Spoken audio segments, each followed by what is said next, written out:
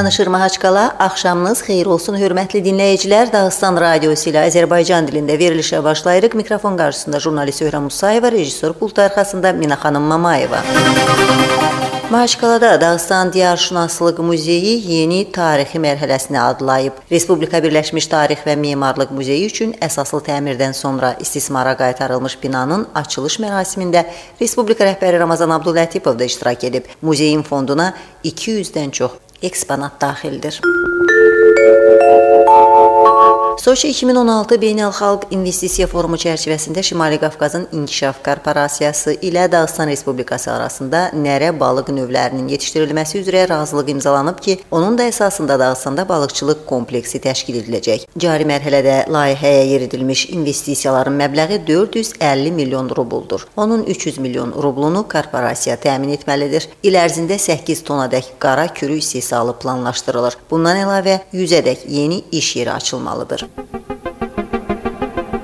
Dağıstan Respublikası üzrə hərbi komissarlığın rəisi Murtuz İdrisovun məlumatına əsasən artıq oktyabr ayının 3-dən başlanmış cari payız çağırışı gedişində 18 yaşından 27 yaşınadək 10 mindən artıq Mahaçqalalı gəncə hərbi xidmətə çağırış vərəqəsi göndərilib. Buna baxmayaraq onlardan yalnız 300-310 nəfəri ordu sıralarına göndəriləcək. Cari çağırış gedişində İdrisovun sözləri ilə yeni qaydalar tətbiq edilməyib. Dağıstanda hərbi xidmətə can atan gənclərin sayı ildən ilə artır. Yer yerlərin məhdudluğuna baxmayaraq hərbi komissarlıq bütün qüvvələri səfərbər edərək gənclərin müvafiq xidmətlə təmininə hər cür şərait yaradır. Xatırladırıq ki, payız çağırışı Rusiya Federasiyası ərazisində dekabr ayının 31-nədək davam edəcək.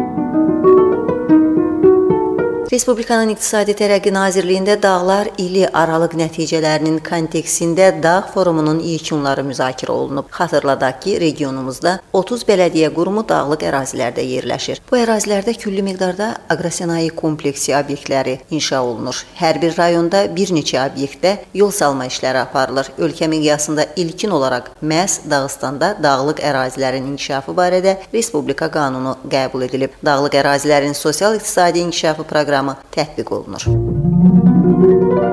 Respublika Kənd Təsərrüfatı və Ərzaq Nazirliyinin mətbuat xidmətindən verilən məlumata əsasən cari ildə Dağıstanda 765 hektardan artıq sahədə yeni bağ salınıb ki, bu da cari il planda nəzərdə tutulmuş işlərin 95%-ni təşkil edir. Bağ sahələri elə payız mövsümü gedişində də salınacaq. 190 hektarda intensiv tipli bağlar salınıb, intensiv bağçılıq minimal xərclərlə aşağı maya dəyəri ilə bol məhsul yetişdirməyə imkan verən perspektiv sahədir. İntensiv bağların hər hektarında 8 800 ağac əkilir. Halbuki adi bağçılıqda bu rəqəm 2-300-ə bərabərdir. Ötən 2015-ci ildə Dağıstanda Respublika rəhbərinin fərmanı ilə bağçılıq ili elan edilmişdi. Bundan əlavə xarici malların yerli məhsullarla əvəzi proqramının icrası çərçivəsində bağçılığın inkişafına xüsusi diqqət ayrılır. Səmərəli aqrosənaye kompleksi önəmli inkişaf layihəsində də bağçılığın inkişafı ilə bağlı məsələlər diqqət mərkəzindədir. Hal-hazırda Dağıstanda 26 min hektaradək bağ vardır ki, onun da 20 min hektarı bar verən sahələrdir. Ənənəvi olaraq oktyabr ayının 4-ü Rusiya ərazisində kosmik qoşunlar günü kimi qeyd edilir. Bu qoşunlar Rusiya Federasiyasının hava kosmik qüvvələri tərkibində iş aparır. Müvafiq peşə bayramı 2002-ci il oktyabr ayının 3-də ölkə prezidentinin fərmanına əsasən yer kürəsinin ilk süni peykinin buraxılışı günü şərəfinə müəyyən edilmişdi. Xatırladırıq ki, məhz 1957-ci il oktyabr ayının 4-də hərbi mütəxəssislər dünya miqyasında ilk dəfə olaraq Baykonur kosmodromundan tərəfindən bütün gərəkli tapşırıqları uğurla yerinə yetirə bilmiş yer kürəsinin süni peykini buraxmışlar. Oktyabr ayının 4-ü Rusiya Federasiyası Fövqəladə Hallar Nazirliyi Mülki Müdafiə Günü kimi əlamətdardır. 1932-ci il oktyabr ayının 4-də hökumətin sərəncamına əsasən Sovet Sosialist Respublikaları İttifaqının yerli hava hücumundan müdafiə üzrə ümumİttifaq sistemi təşkil edilir və onun nizamnaməsi təsdiqlənir. 1961-ci ildə müvafiq sistem ölkənin mülki müdafiə sistemi kimi yenidən təşkil edilir. 1986-cı il aprel ayının ayının 26-sında Çernobıl atom elektrik stansiyasında baş vermiş qəzadan sonra mülki müdafiəyə, təbiət və texnogen xarakterli qəzalarla mübarizə də əlavə edilir. Mülki müdafiə ölkənin müdafiə quruculuğunun və təhlükəsizliyinin əsas tərkib hissəsi olaraq qalır və dövlətin ən vacib funksiyalarından birini yerinə yetirir. Rusiya mülki müdafiə sahəsinin ixtisaslaşdırılmış bölmələri ötən illər ərzində ölkə ərazisində və dünyanın 48 ölkəsində 150 mindən artıq xilas etmə əməliyyatlarında iştirak etmişlər. Oktyabr ayının 4-ü Ümumdünya Heyvanları Müdafiə Günüdür.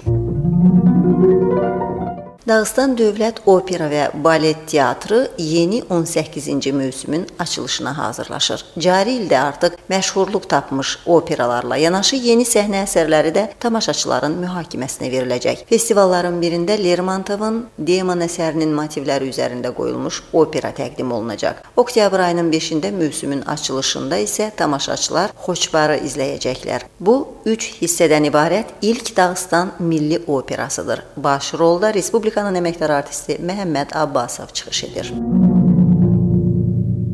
Hörmətli dinləyicilərimiz, indi də bir elanı diqqətinizə yetiririk. Səhiyyə Nazirliyi Mahaçqala sakinlərinə 2 günlük su ehtiyatı tədarük etmək xahişi ilə müraciət edir. Bu, Mahaçqala Vadakanal Açıq Aksioner Cəmiyyətinin fəaliyyəti ilə əlaqədardır. Beləliklə, oktyabr ayının 6-sı saat 6:00-dan oktyabr ayının 8-i saat 6-ya dək şəhərə su qoyuluşu dayandırılacaq. Bu zaman Mahaçqalanın təmizləyici qurğularında rekonstruksiya işləri aparılacaq.